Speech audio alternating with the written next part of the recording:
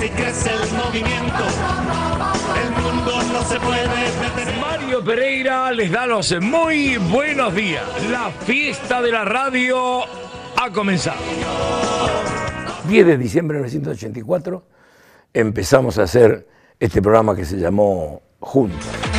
Bueno chicos, la música que preparamos para el día de hoy.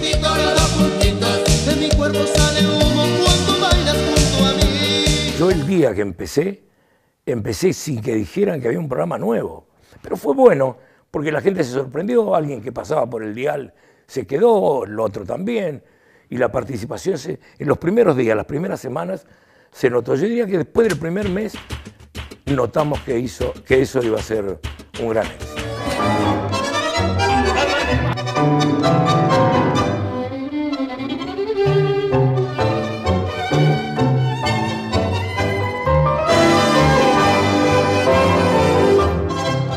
Uno tiene un objetivo, ¿cuál es el objetivo?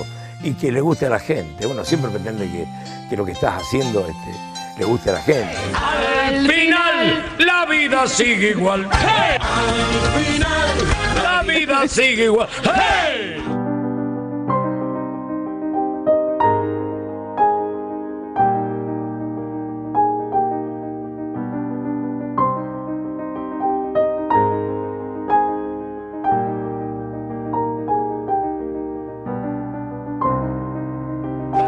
¿No me regalan una radio? No tengo, se han terminado, se han agotado, no hay más. ¿Pero por qué no me regala una radio, Mario? Porque no hay más, hijo. ¿Qué querés? Vamos a tomar la leche. Vamos a tomar la leche.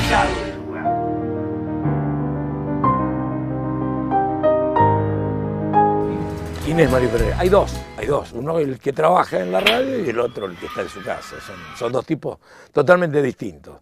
Es una actuación que hace Mario Pereira eh, en, en la radio. Lo que pasa es que el Mario Pereira de la casa, cuando dice cosas serias, las dice en la casa y en la radio. La- lo otro es la actuación, la- el entretenimiento, la fiesta, la alegría. Si Mario Pereira está nervioso o está muy molesto, le ponemos esto nosotros. No se ponga nervioso, Mario. Bueno, esto se trata de un cura y una monja.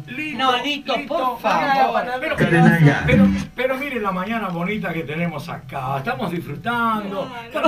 No me hagan enojar. Ay, ay, ay. bueno, pero lindo.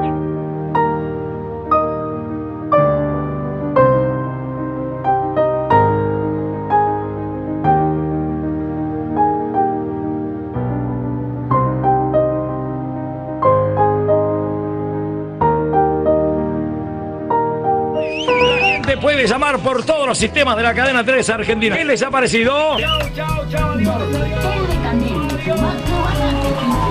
Y, y- y después vendrá el momento en que no haga nada. Es, es ley biológica de la vida.